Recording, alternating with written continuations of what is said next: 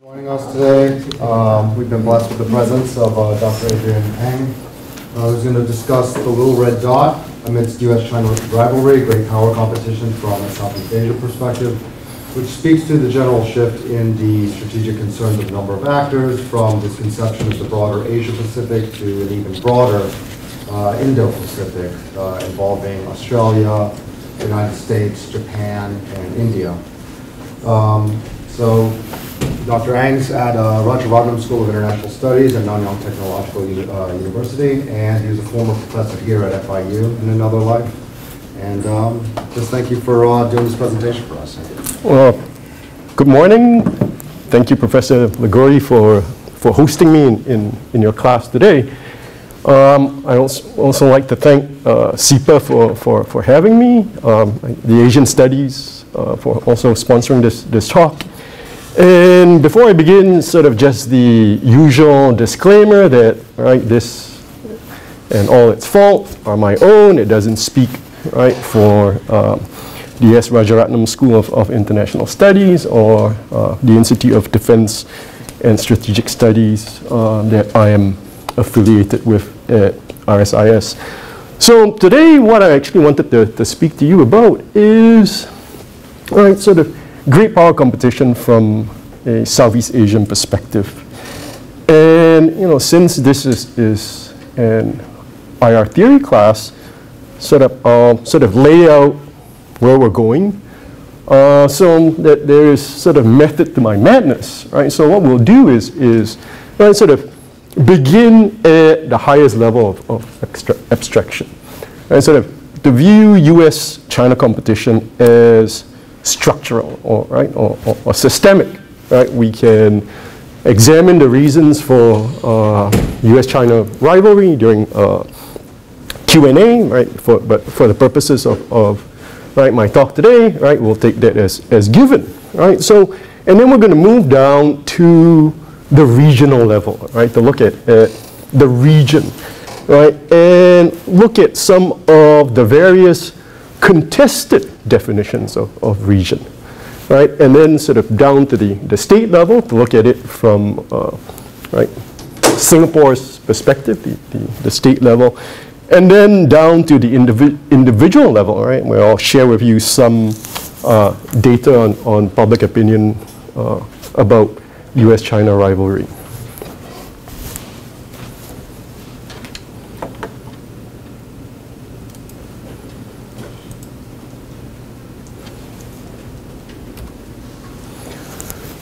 And so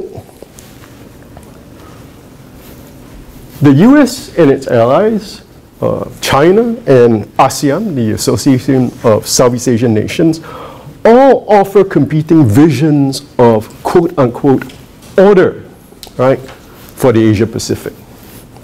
Right, and each of these powers, right, present right, what we call different versions of regional security architecture. Right, so one way of thinking about security architecture is that it is a manifestation of global order, right? Meaning, right, architecture tells us about who is to be included in the region, right? What structures should this region have, right? And what functions and rules, right? should this region have, right? Um, right, before going any, any further, right, one of the things that we should understand is, right, the very definition of region is contested. Right, so as, as, as IR theorists, right, in your in, in IR theory class, right, constructivists tell us that Right? Reality is socially constructed, constructed. Right? Region, in this sense, is socially constructed. Region is geopolitically constructed.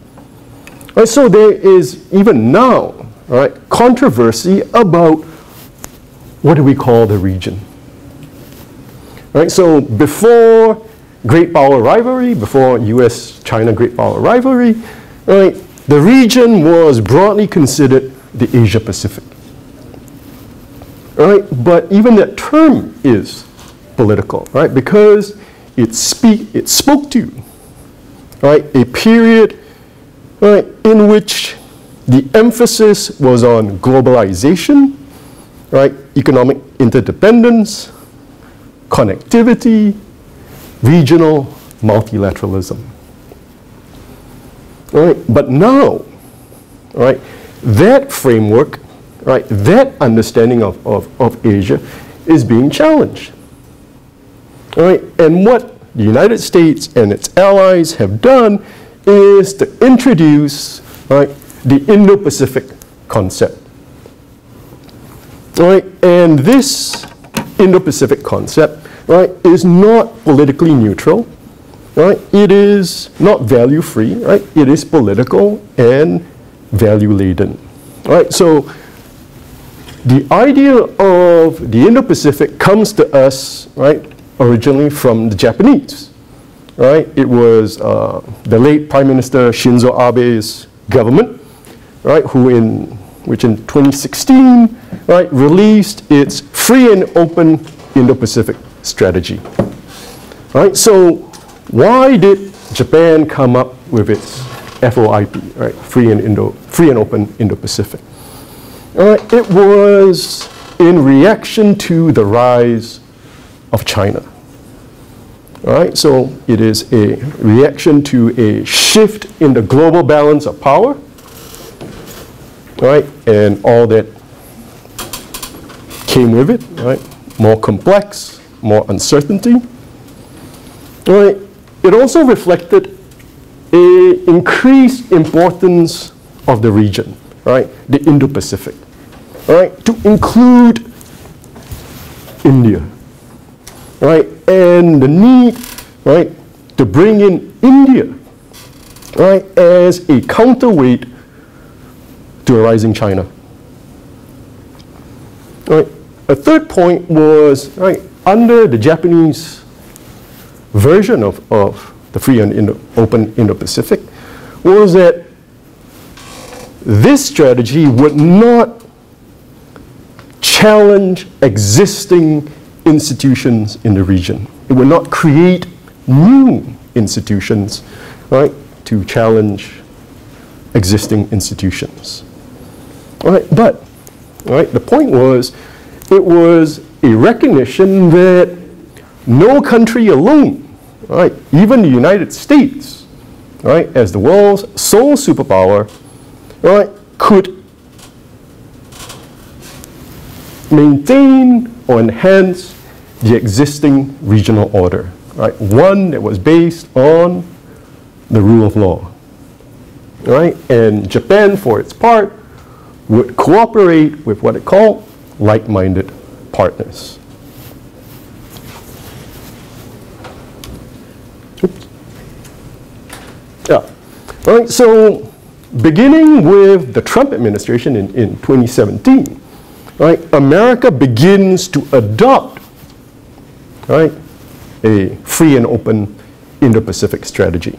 Right? But right, one of the things that you should know is right, even when we look at America's allies in the region, right, we'll, we'll speak to that soon, right, Japan, Australia, India, right, each of them have still very different understandings of the region, right, and what the strategy should be, right. But generally, right, America's free and open Indo-Pacific strategy, right, is still grounded in its bilateral alliances, right. So what we often refer to as the hub and spoke system, right, or the San Francisco system, right, America's system of treaty allies. Japan, South Korea, Australia, the Philippines, and to a much lesser extent, Thailand. Right? So, right, the free and open Indo-Pacific strategy still privileges right, this hub and spoke system.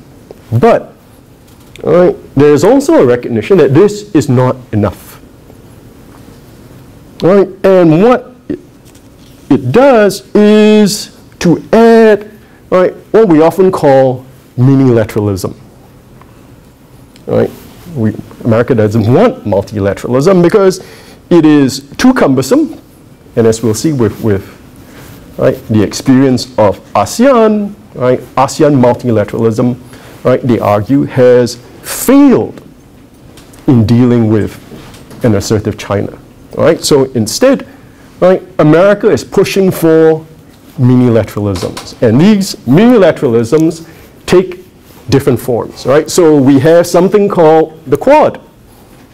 Officially, it is the Quadrilateral Security Dialogue right, between the United States, Japan, Australia, and India, right? So again, right, if you look at these countries on, on, on a map, right, they form, right, sort of the four points that frame the Indo-Pacific region. All right? And of course, officially, right, they will say, right, the Quad is not directed against China, right, but realistically, right, the Quad is, right, directed at right, a rising and assertive China. Right?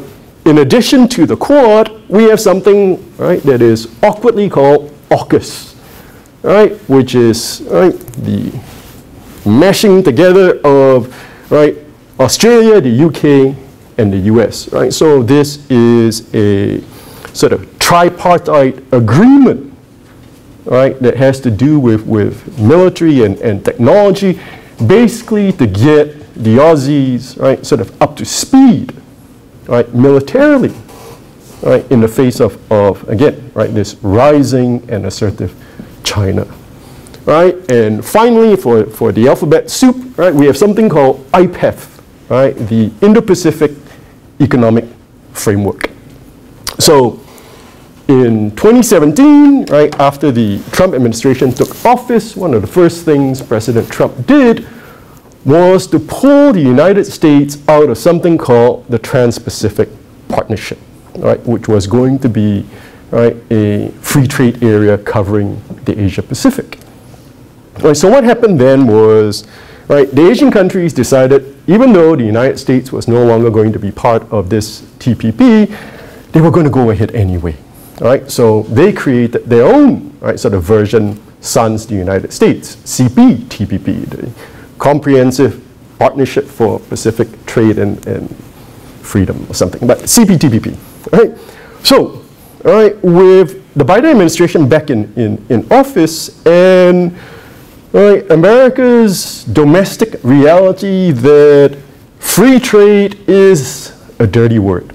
Right? There is, is there's apparently no domestic political appetite for free trade.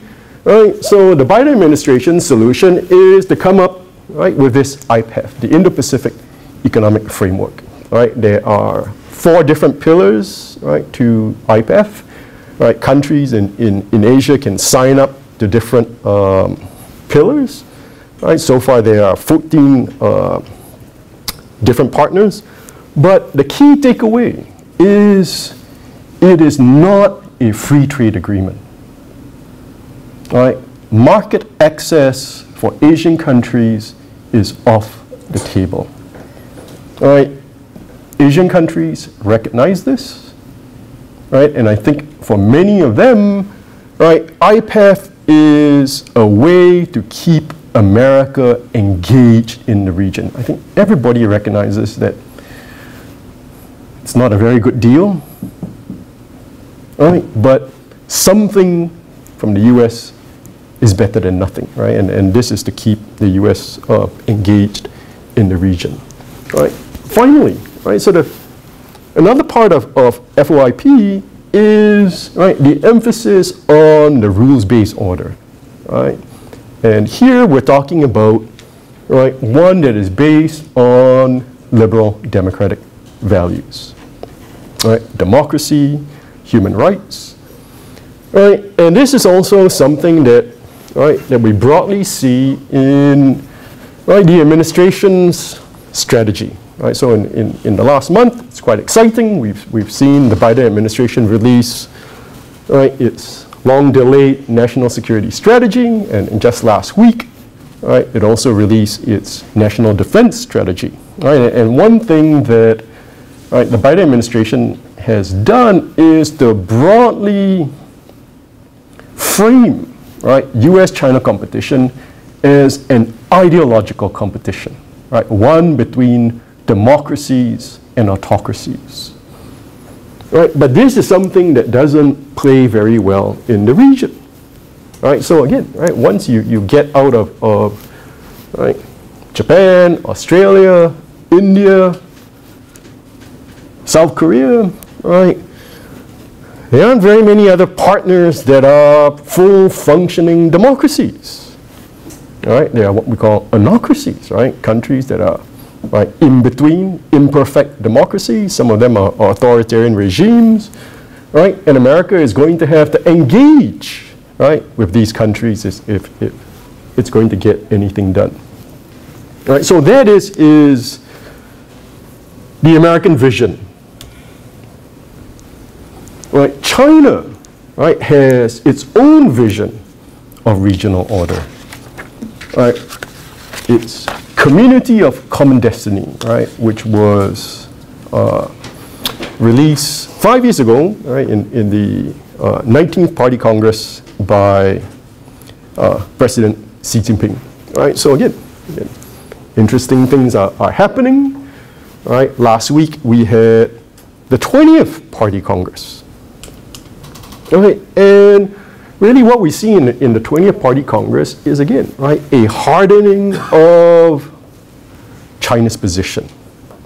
Right, again, right? China's vision of regional order is one that is, is grounded on the Asia Pacific, right? Really, arguably China-centric, right? But one that seeks to marginalize the U.S.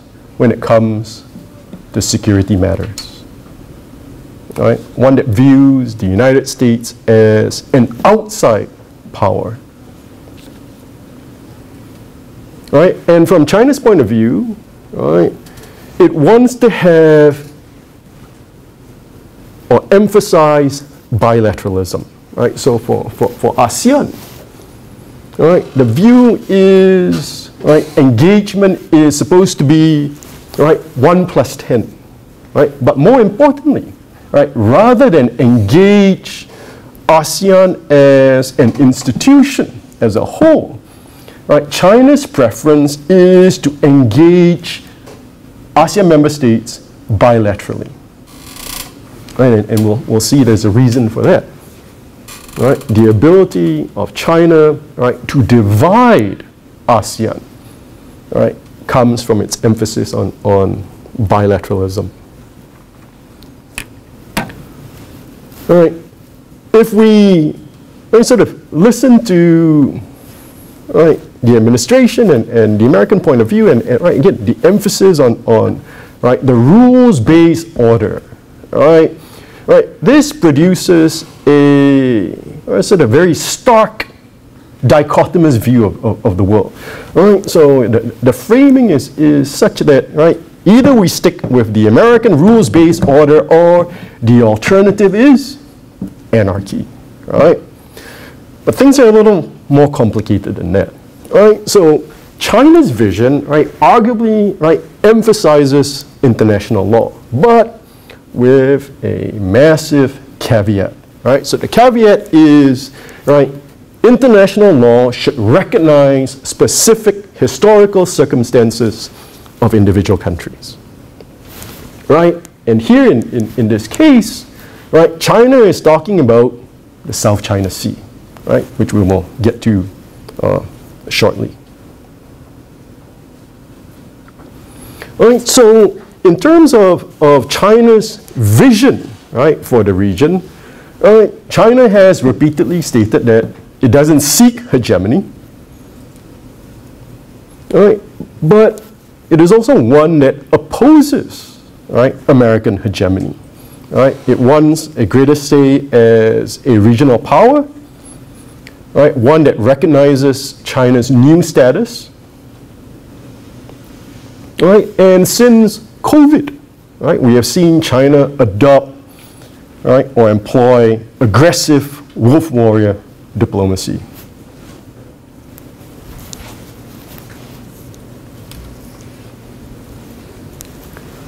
Right. The third vision, right, comes from ASEAN, right, the Association of, of Southeast Asian Nations. Right, so just a little brief backgrounder, right? ASEAN was created in 1967, right? So this is the height of the Cold War in Southeast Asia, right? The Vietnam War is, is raging, right? And five countries, Indonesia, Malaysia, Philippines, Singapore, and Thailand, right? The original five ASEAN member states, right, found the Association of, of Southeast Asian Nations, right? Later in, in, in the 80s and, and 90s, and uh, right, ASEAN will expand, right, to 10 members. But, right, ASEAN's purpose, right, or goal, right, in 1967 was, right, these countries had just basically, right, freed themselves from colonialism, right? They had just gained, most of them had just gained independence, right? And they were looking at the Cold War and basically wanted no part of great power, this superpower competition in the Cold War. Right, and so what ASEAN did was, right, sort of because it also had to take into account regional sensitivities, right, it created a system of governance, right, that was consensus-based. Right, so, right, decisions have to be by consensus, right, there is a principle of, of non-interference in each state's domestic affairs, all right, so ASEAN is very risk averse. Right, ASEAN is, is really not known, right, for, for making sort of right bold or, or exciting gestures, right, and it works by incrementalism.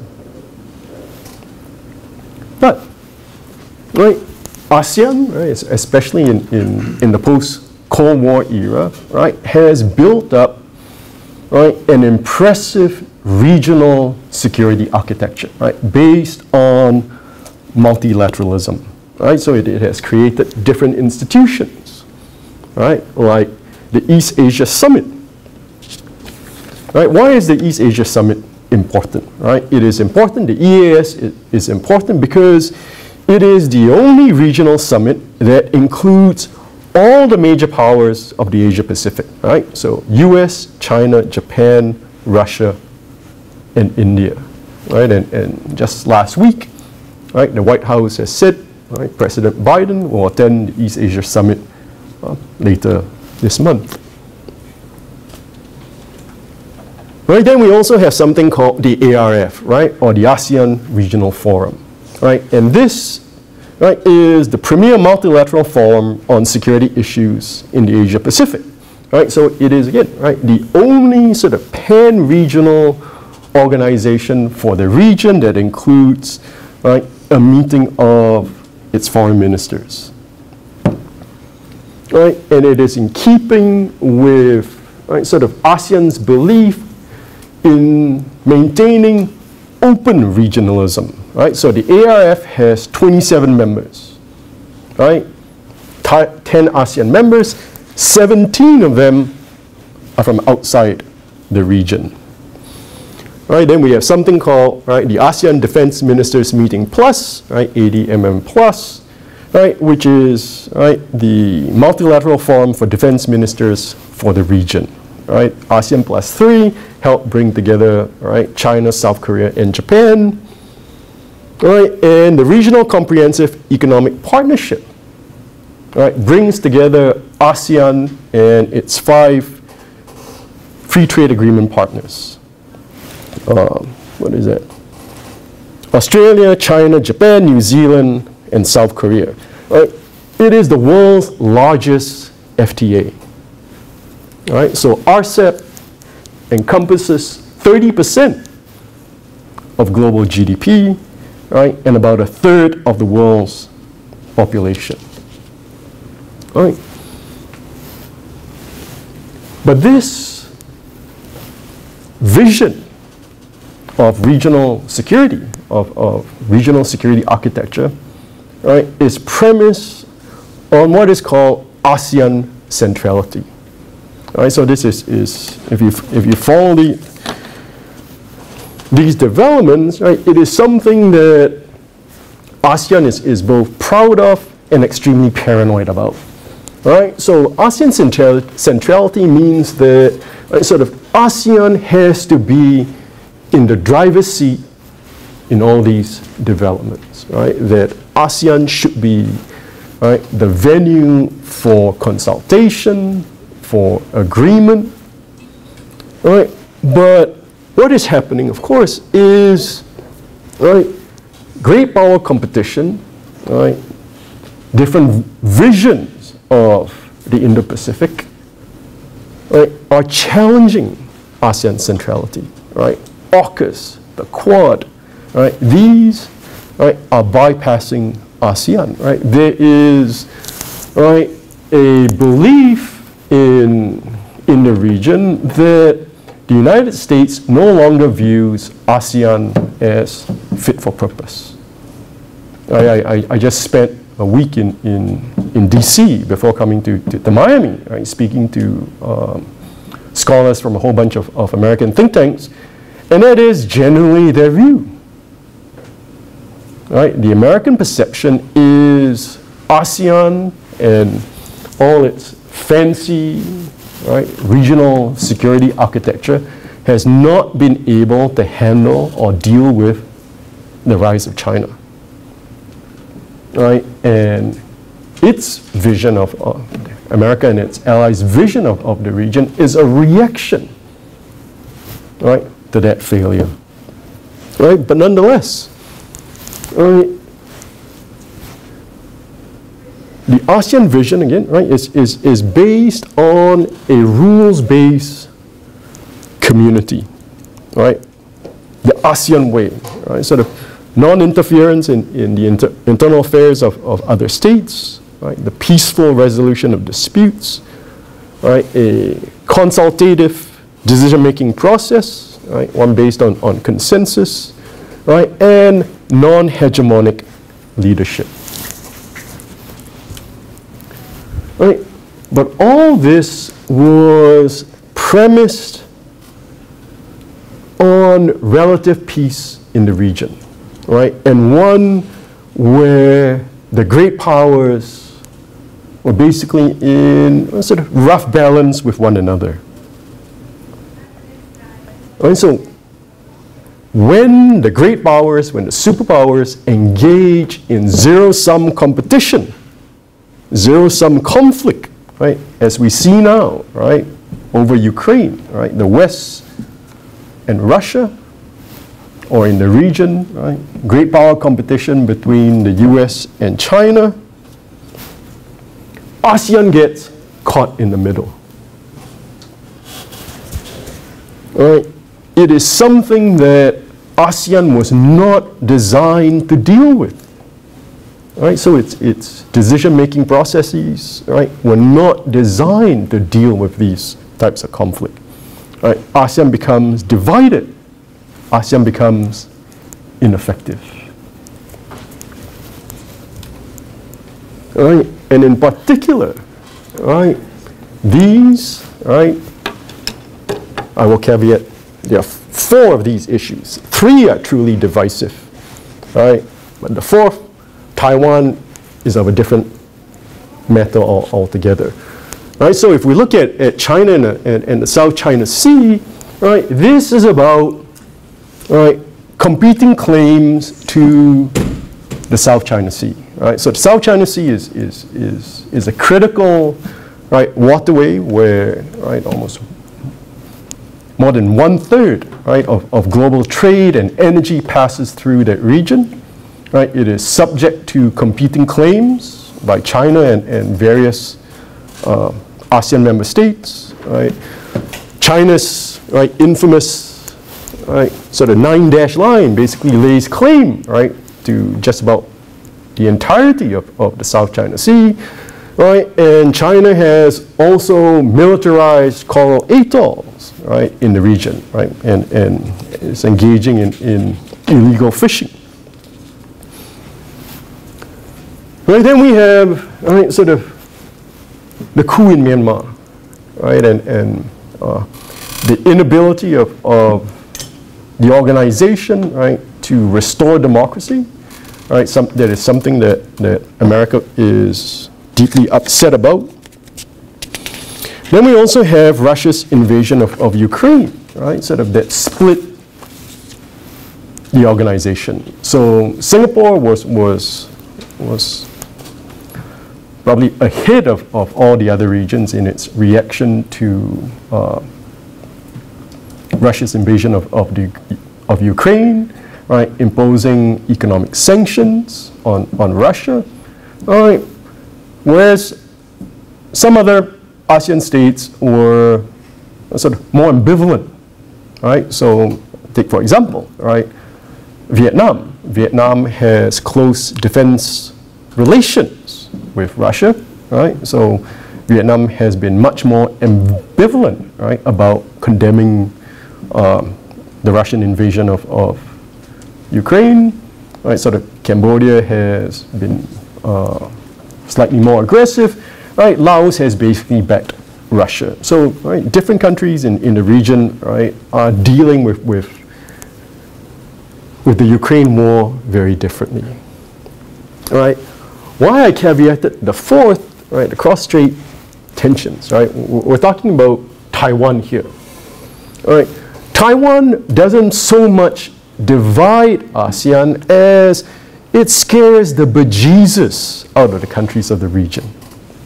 Right, so in, in August, right, when House Speaker Nancy Pelosi right, visited uh, Taiwan and China reacted right, by essentially right, blockading Taiwan and, uh, and, and, conducting military drills, right, ASEAN issued a statement about the straits. Right? It couldn't even bring itself right, to use the T word, Taiwan.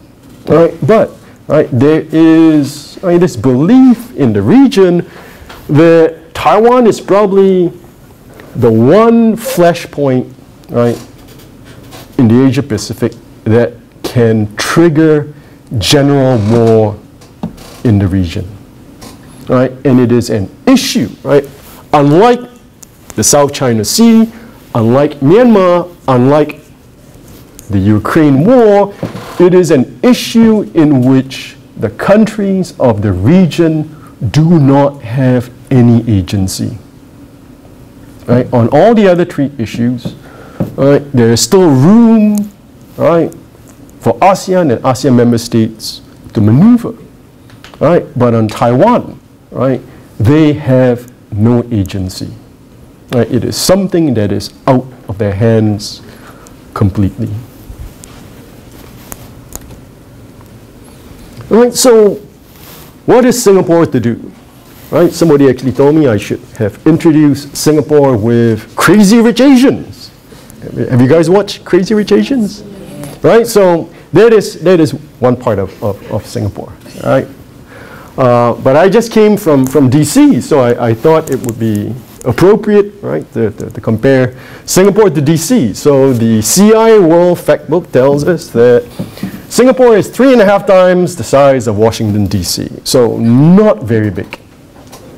Right? It has about uh, six million people. Uh, it is multi-ethnic, uh, but people of, of, ethnic Chinese descent make up about three quarters of, of, of the population. Right, then we have uh, Malays, Indians, Eurasians, and, and right, a whole bunch of, of um, other ethnicities. All right. Singapore has an open economy that is highly dependent on, on exports right? So, right, that fuels, right, the crazy Asian rich lifestyle. Uh, right, but it is also located, right, along strategic Southeast Asian sea routes, right? So it is at the, the southern end of, of the M- Malay Peninsula, right, along the Straits of, of, of Malacca. All right, so what is, all right, Singapore as, as the little red dot supposed to do, right, when it comes to great power competition, right? What do you do when you have five, six million people when, right, your, your, your country is only three and a half times the size of, of, of DC? All right, so Singapore, like many of, of the other ASEAN member states, have realized that you could side with either of, of the superpowers, either US or China, right? And you could probably get short-term benefits, but right, you would increase your economic and political risks. All right, so what we and others have done, right, is to try to search for a middle ground between the great powers. Right, so very often, right, you will hear, right, not just my prime minister, right, Lee Hsien right, but other le le leaders of, of the region saying, don't make us choose, right? We do not want to choose between, right, China and, and, and the US. All right, so what we have done, is since the Cold War, is to pursue both China and the US to engage both, right, in terms of economics and politics and diplomacy. All right, so, yeah, in terms of IR theory, right, it is neither a purely balancing nor bandwagoning strategy. Right, so if you recall your Ken Waltz and your Mearsheimer, right, what do neorealists tell us when there is a rising power? What do the other states do?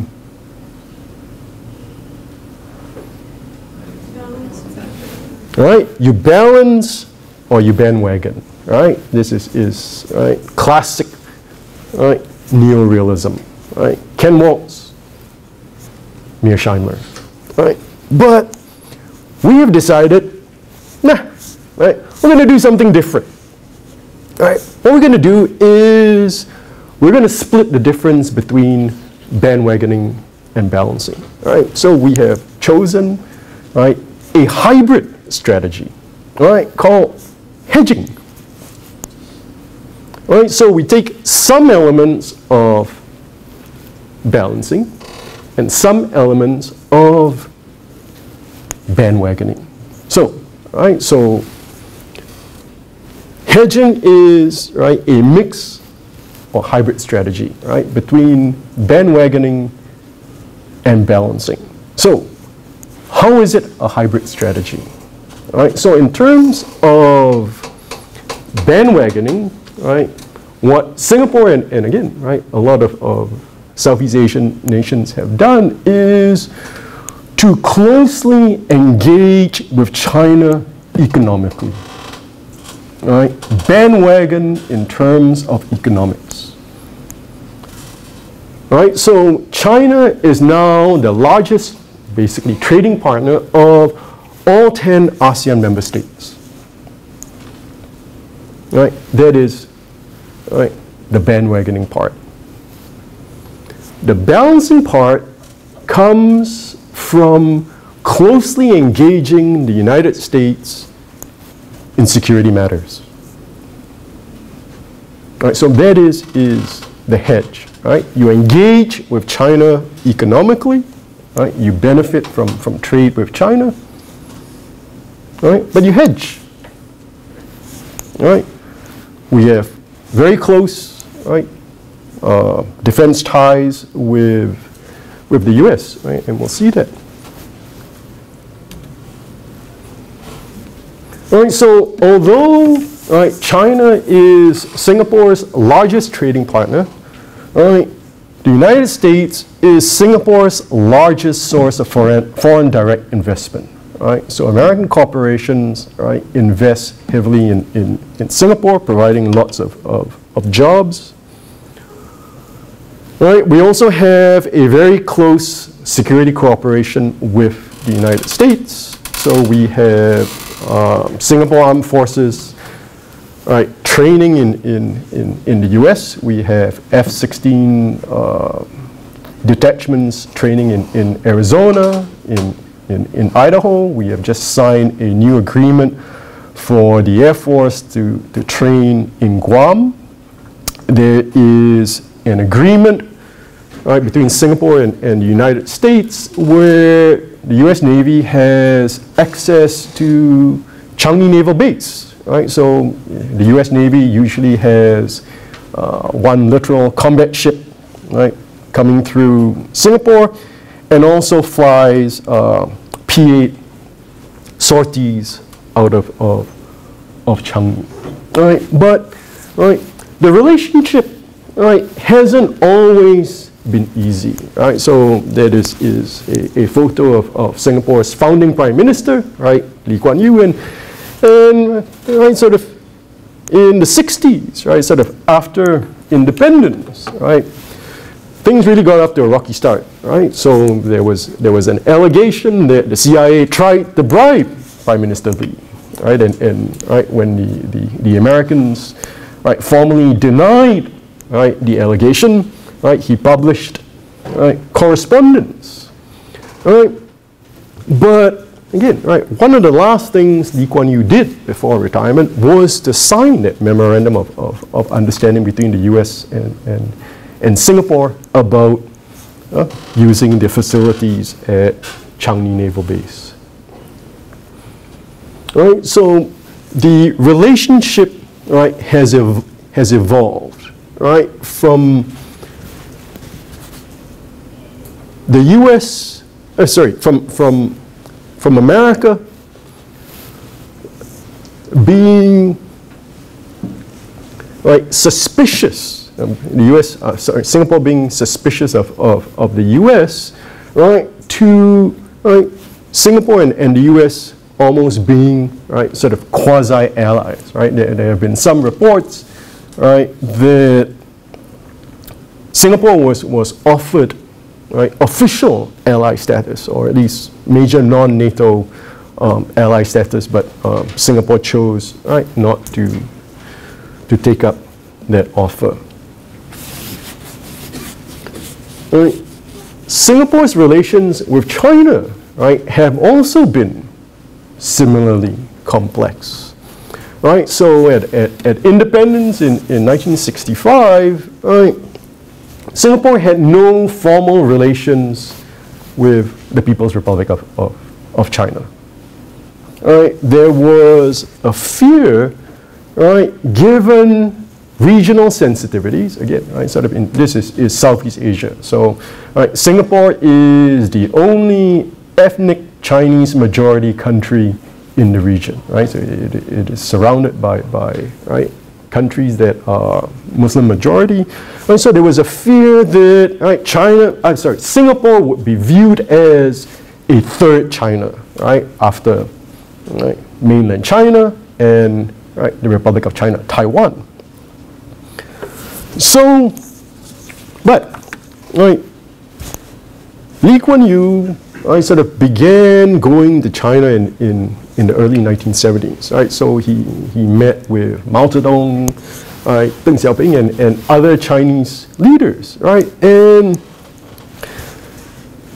they started viewing, especially right, Deng after his, his reforms, started to view Singapore as a template for economic reforms, right? As an example, right, for, for China to adopt. Right? So when, when right, Deng Xiaoping visited Singapore in, in 1978, right, he called for China to learn from Singapore's experience.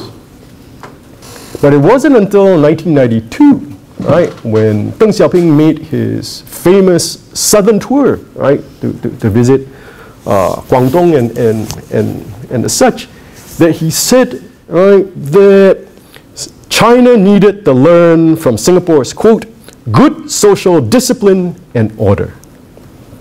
Right, and then right, sort of China looked to, to Singapore for inspiration. Right, so since the 1990s, right, Singapore has actually trained over 50,000 Chinese officials and cadres right, in subjects ranging from urban management to social governance and public administration. Right, so that it, it is one of, of, of, the things that keeps um, both countries engaged. So as uh, you know, so I said, right, China is, is Singapore's largest trading partner, and also very interestingly enough, right, Singapore is China's largest source of FDI, right? Over 250 billion as of 2021, right? So Singapore's uh, FDI in, in China exceeds, right, all other countries.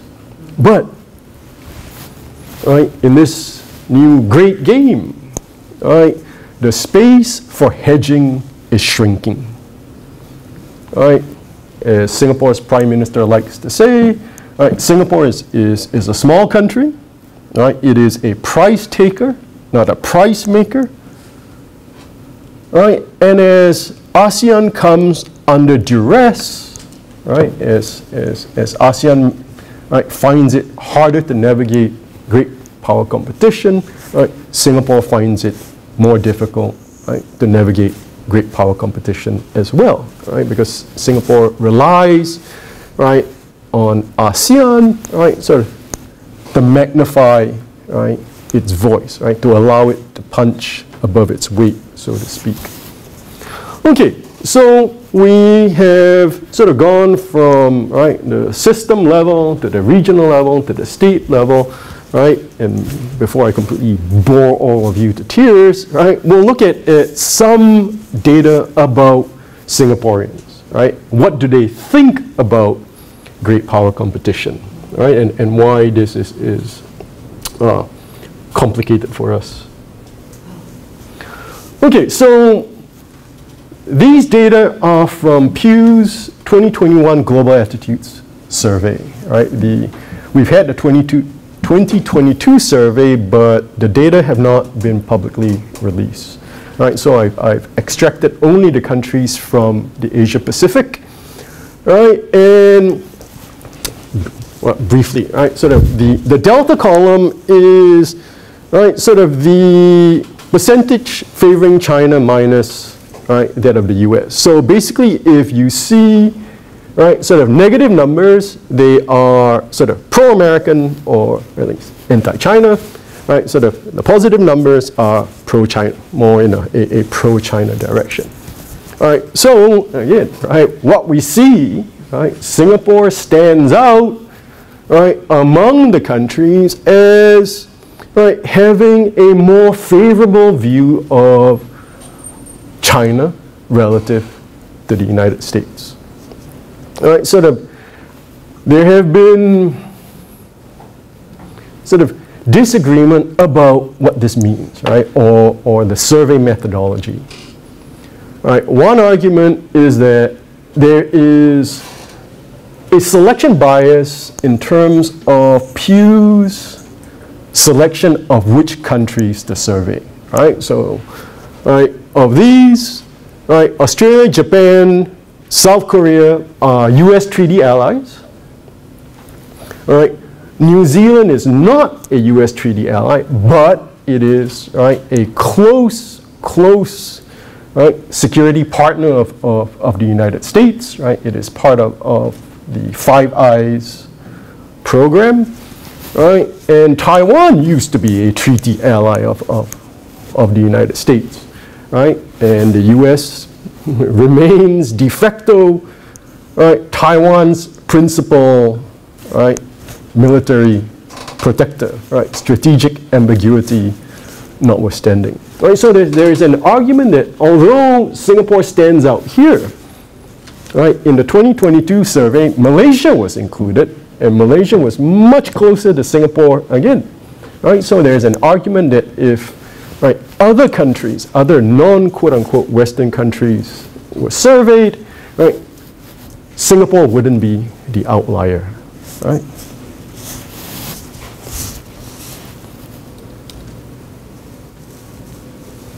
So again, right, Singapore stands out in terms of, of right, the choice of economic engagement. Right? Again, the choice is here, right? Is it more important for your country to have strong economic ties with China or the US? Right? Singapore picks, right? More Singaporeans pick China than they do uh, the US, right? Which is again very different from um, the other Asian countries uh, that Pew surveyed.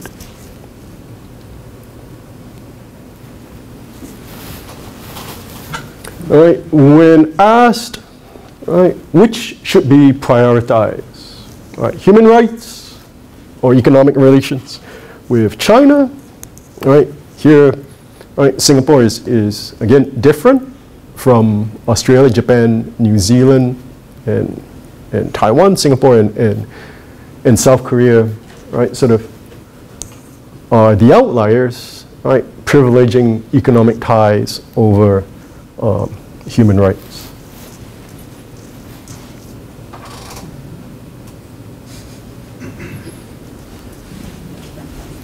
Right? There is also right, sort of differences, right? When Singaporeans are asked, right, how much confidence you have between Joe Biden and, and Xi Jinping, right?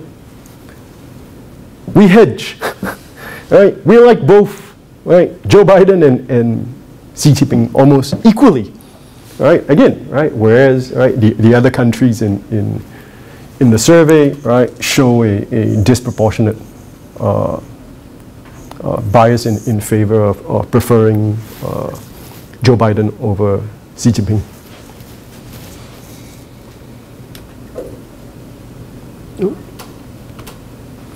I have other, I have other data that, that, that, that digs deeper in, in, into this, right, that shows that the differences, right, in the attitudes are primarily racial or ethnic, right? So I've run the data, right? Age doesn't matter, education doesn't matter, Gender doesn't matter, right? But what matters is ethnicity, right? Ethnic Chinese respondents, right, prefer China over the US, right? So over the long term, it might be problematic, right? Domestically, right? For, for several reasons, right? And, and let's look at, at, at some of them. Right? So how do we explain this? All right, one has to do with, again, right, this notion of, of Singapore as a third China, right, and cultural affinity. We have, right, three quarters of the population are of ethnic Chinese descent, right? Most of us are from, right, southern China. Mandarin is, is an official language of, of Singapore. We have four official languages, English, Mandarin, Malay, and, and, and Tamil. Uh, many Singaporeans have visited China socially. Right? Many also have uh, extensive business and, and trading ties. Right? So this, in turn, may color some of, of right, the quote-unquote achievements right, that China has accomplished over the past 20 or 30 years. Right? the, the lifting of, of hundreds of millions of people out of poverty, right? The rise of, of China as an economic and military power is viewed right, favorably as an accomplishment. Right? So there's this right, sense of, of cultural affinity. There's a sense of cultural pride, right, that the East is rising. Right, and there's also something that is probably sort of, you know, maybe uniquely Singapore, Singaporean in, in the sense that right, we view material success as worthy of approval. Again, right, this is the crazy rich Asian thing going on, right? Right, we see these things as, as, as good. Right, then there's also an argument that, right, sort of politically, the population is, is primed towards pliancy with authority and pragmatism, right? So, long story short, right, we like our authoritarian figures, right? And, and this is, has probably um, the result of, right, six decades of, of uninterrupted rule by the government, right? The People's Action Party, right, which has been non-ideological, right? The emphasis has always been about pragmatism over principle, right? The pursuit of, of right, material success. Right, and, and so, right, many Singaporeans, right, sort of buy into the argument that, right, human rights, democracy are not important, or at least less important than economic progress.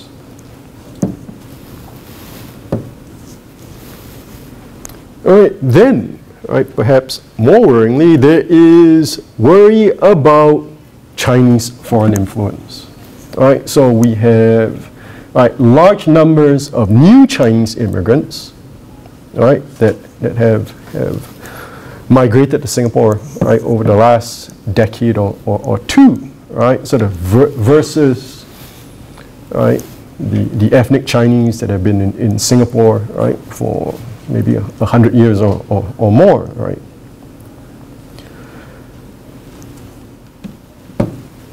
There are also, right, sort of again, these Singaporeans who have extensive right, business networks and right, economic ties in, in China. Right, sort of, again, right, so unsurprisingly, right, they would right, oppose right, any antagonisms with China. Right? They're pragmatic. Right? So it doesn't mean that they support the CCP right, or approve, right, for instance, right, China's policies in, in Xinjiang. Right? I mean, right, at best, right, they would be apolitical. Right? Their goal is right, to seek profits. Right? There are also right, those right, who view the U.S. as hypocrit hypocritical.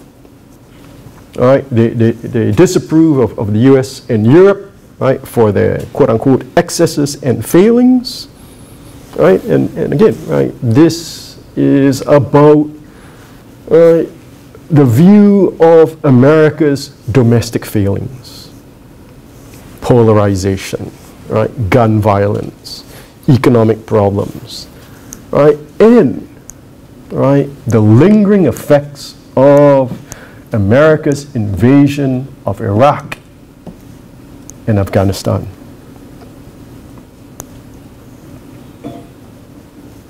Right? And then finally, right, there is a segment, right, of Singaporeans who were Chinese educa educated, right, before the system right, change, right? And, and I, I think there is right, some lingering sense of resentment in this group, right? But they view, right, sort of China's rise much more favorably compared, right, to Singaporeans, right, who are, broadly speaking, Western educated. All right, so when, when Singapore shut down the uh, Chinese vernacular schools in, in, in the 70s, all right, they feel right, sort of aggrieved. Right? There was a sense of, of grievance right, about the rollback of, of right, the use of, of Chinese language and culture, right, and a loss for them right, of opportunities right, compared to those that receive right, a, a, an English or Western education. All right? And I'll just end, right, sort of with, right, sort of, again, right, why is this important? Again, right, because we have our own history of ethnic tensions, right, going back, right, so we, it's, it's still within, right, living memory of, of right, sort of racial riots in, in, in, in the 1960s, right, and if, right, race and ethnicity is the principal cleavage, right, in attitudes towards, right, great power competition, right, it might become problematic. And it is also problematic because right, we have issues in dealing with disinformation and misinformation. Right? Sort of I see that right almost literally every day in my family chat group, right? Sort of I have uncles and aunts, right, sort of sending me, you know, TikTok videos on on on everything from like, you know, Ukraine to Russia. I'm like, okay, you guys need to get off, right, sort of the, the, the Chinese propaganda, right? But, right, the population is not educated on these problems, right? And the government's efforts have largely, right, been trying to deal with official, right, or state level efforts more like subversion, right? But which is very different from right sort of the disinformation and the misinformation we see right via social media. All right, so I think I will end there and I welcome your questions and comments. Thank you for coming. Um, I did learn a lot. I feel like Singapore is often overlooked, so it was nice to hear about it. Um, so you had talked about four divisive issues, one of which, one of which was the coup in Myanmar. And I know in 2014, Thailand also had a coup. And in August, their prime minister who took over during the coup was suspended. But then it was ruled that he could stay in power. And I know Thailand also has had other problems, such as a youth-led um, protest on democracy. Um, the government extended had an extension that restricted freedom of expression. There's also been issues with torture and people disappearing. And then along the border with um, Malaysia, with Muslims, there's been an issue with that. And so my question is, how close is Thailand to being the fifth divisive issue? Does you see Thailand being a big problem? Thai, for, for, for ASEAN? Yeah. Uh, no, right? So sort of, I think the, the, the issues over Thailand have passed pass over, right? So in terms of ASEAN's quote-unquote domestic issues, sort of an intra-ASEAN uh, matter, it is Myanmar. So, you know, the, the ministers again just met uh, over, over uh, Myanmar, right? Singapore's uh, foreign minister just again spoke about the Myanmar issue and, and how difficult it is going to be. So on Myanmar, right, ASEAN is, is receiving a lot of external pressure, right, especially the United States. But I think from ASEAN's point of view, right, they want to deal with this through ASEAN mechanisms, right? So they, they, I think there is a, a need and a belief that if ASEAN is, is going to survive, right, ASEAN has to deal with this in an ASEAN manner, right? And, and this is going to upset or disappoint external parties, right? Again, right? Because this has to do with, right, sort of how ASEAN's decision-making processes are structured. So there is now talk uh, again, right? So this is this is November 1st already. So uh, there is a there is a handover to to Indonesia uh, for for the ASEAN chairmanship, right? And and one of the things you know Indonesia is is interested in in doing is bringing up that whole decision making process, right? To end consensus, right? That you know unanimity is is required to do everything. But the problem is, right? In order to, to, to table consensus or unanimity, you need unanimity, right? So they, they, they're stuck in, in, in this circle. So the long story short is Myanmar is probably not going to be solved anytime soon. And, um, but from, I think, ASEAN's point of view, it is still better that happens, that it, ha it occurs within the ASEAN framework.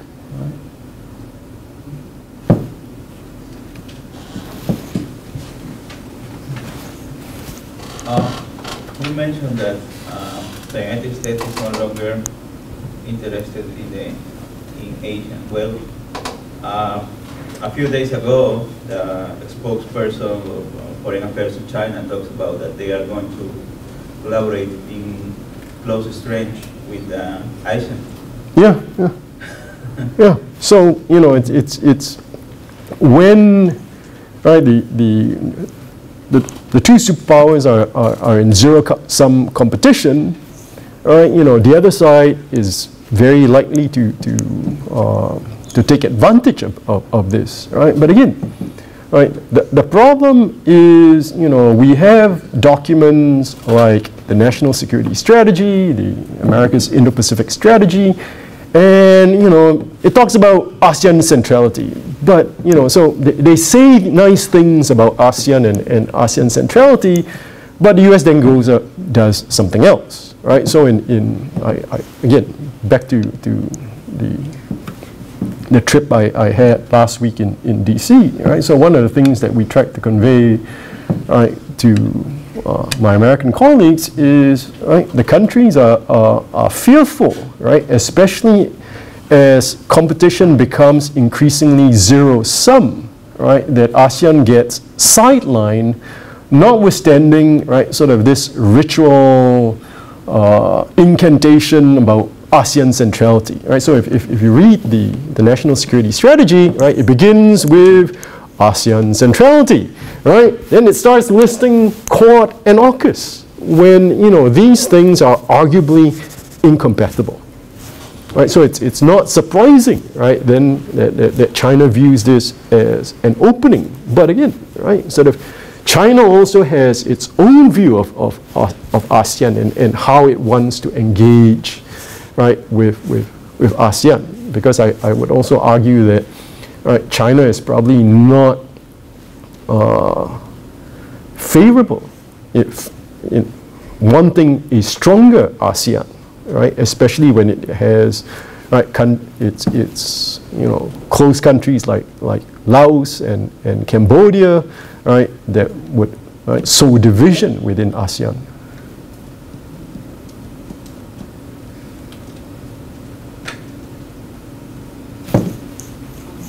Thank you for the very interesting presentation. Um, I just have a question that um, um, kind of like builds on what you just mentioned, uh, and it's really it relates to the Quad. Um, so the Quad is generally seen as a challenge to ASEAN's centrality. Um, but I, I, came across a few um, regional surveys that seek uh, that where the respondents mentioned uh, that it, it, actually has um, is seen as a positive mechanism. So, for example, in the state of South uh, Southeast Asia survey. So I was wondering if in your research um, did you come across any specific views about uh, the Quad that um, see it as a positive or negative mechanism, and especially from uh, the Singapore's perspective. Okay, thanks great question. And, and I actually answered that survey because the, that survey that, that you are referring to is like a, is what we call like an elite survey, right? So it's, it's about, it's surveying uh, experts in the region. So if you would ask the average person, right? So something like, like you know, a, a, a Pew survey you would probably not get the same response, right? So you would probably not have a, a recognition of, of what the quad is, right? Or what AUKUS is, right? So, and to some extent, this is, is not very different from, you know, any other public, right? So, you know, if, if we look at, at public opinion surveys for, for other countries on, on foreign policy issues, people don't really care.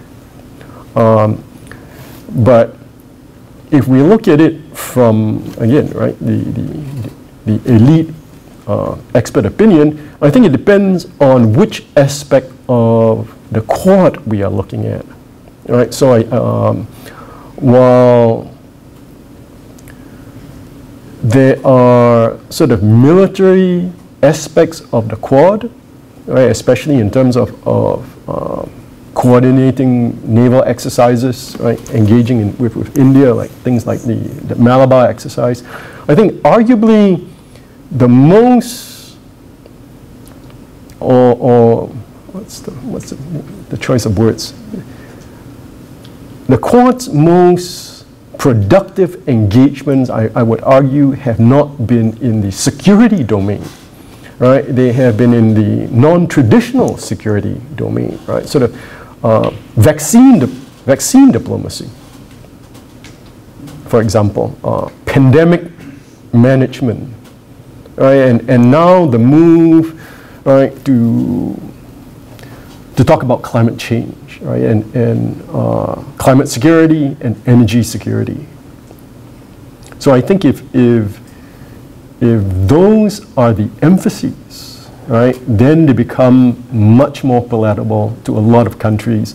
And again, there are also, you know, stuff being done by the Quad countries individually. Right? Japan, right?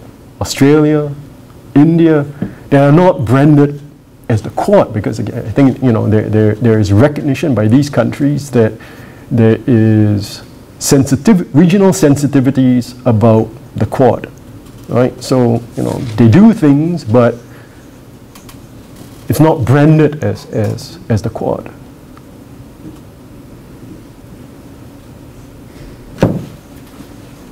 Um, Great lecture, very clear. I have some questions though about definitions, right?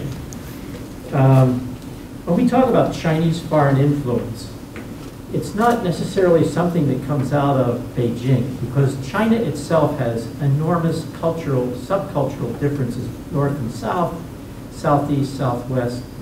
Um, and I think I, I would ask if some of the questions about Chinese influence on Singapore have to be um, qualified in light of Mandarin versus non-Mandarin speaking uh, arguments that took place bitter arguments I, I, I've read uh, in Singapore um, in the time span that you um, pointed to. Um, so my question is, is China, is, are the Singaporeans investing in the Southeast China where, where they have most of their ties historically? Or is it more broad? Um, and is that reflected in, in the opinions about what's going on in China. Southeast China kind of led the big boom, right? And so basically, uh, and overseas Chinese were responsible for 70% of the FDI uh, from the Deng Xiaoping era on. So is it possible that those particular or peculiar ties, those uh, have skewed and or heavily influenced uh, Singap Chinese Singaporeans' um, perceptions of China? Short answer, probably yes. Um, we, we don't have good empirical data to test right, some, some of, some of your, your, uh, the points that you have brought up. So uh, first of all, you're, you're right. So most of the FDI Singapore has, has, has plowed into China remains right in the south, where, where as, as, as, as you correctly pointed out, right, the vast majority of, of um, Sing Singaporeans of, of Chinese ethnic descent came from, right? So Guangdong, uh, Fujian, and, and, and, and the like. So again, you know, as, as, as I pointed out, you know, there is that, that cultural affinity, I, I think, that, that drives a, if not outright support for China, right, a, a favorable view of, of, of, of China. But unfortunately, again, right, the, the last part of, of, of my lecture is more conjectural, right? So the data itself do not allow us, right, to test especially for uh, Chinese information misinformation or, or possible Chinese disinformation uh, campaigns. So, but we, we see that especially a lot in, in, in social media, right? So, uh, um, again, again, this is anecdotally, right? Sort of just about every day, right? I have, you know, family members, you know, sending me um, videos, right? That I think too closely parrot, right? Sort of Russian propaganda on, on, on Ukraine. Uh, of course, you know, uh, back to your question about, you know, whether this is, is directed by Beijing, right, they will always, I think, have plausible deniability. If I, if I could press a little bit further, one of the factors that you indicated was Chi- new, recent Chinese immigration. Um, Given Singapore's adoption of Mandarin as its flavor of, of Chinese, are these Mandarins, uh, new Chinese coming in Mandarin speakers, or are they Southern Chinese who are comfortable outside, more comfortable outside, or as comfortable outside of the Mandarin bubble, if you want? Oh, okay, All right. So that is, they are not really outside the Chinese bubble. So one of the problems, again, right, as we have found in the last two decades, is right because right? They feel comfortable right? That Mandarin is, is one of our, our, our official languages.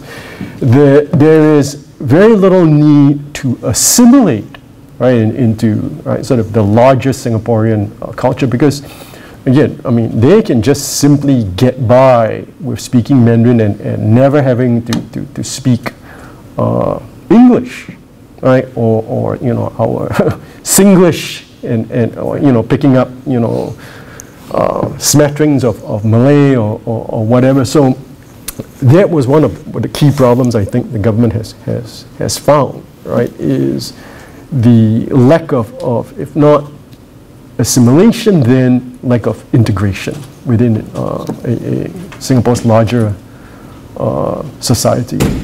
Thank you. Sort of like Spanish in Miami, right?